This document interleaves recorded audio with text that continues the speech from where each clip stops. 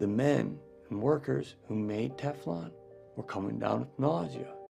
Evan just walked up 24 flights of stairs to avoid consuming electricity in an elevator. So, hello, we're part of the Zero Waste Culture. I'm Jonathan, this is Marta, and that's Robert.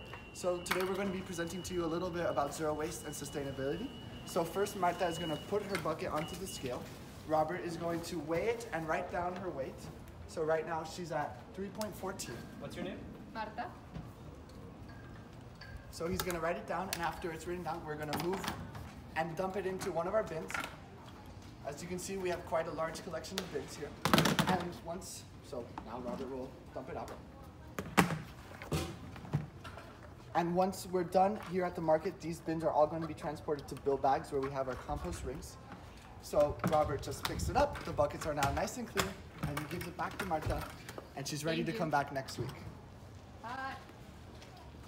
So right now we're doing our composting technique where we add one thin layer of food waste and then we cover it with mulch and we repeat that st- step a few times until we finish with all the food waste. So here we are in one of our compost rings. Here is our finished soil after months of mixing it, of adding food waste. So now we are collecting the soil and soon we are going to be sifting it in our homemade sifter. That's good, right? Alright, so here we're adding our soil to the top of the sifter. And then you can just do this with your hands. You kind of just pat it down a little bit. And as you see, the mulch goes to the bottom and what goes through is the finished soil. And after, when we're done with this, we just collect it and we give it out to our members.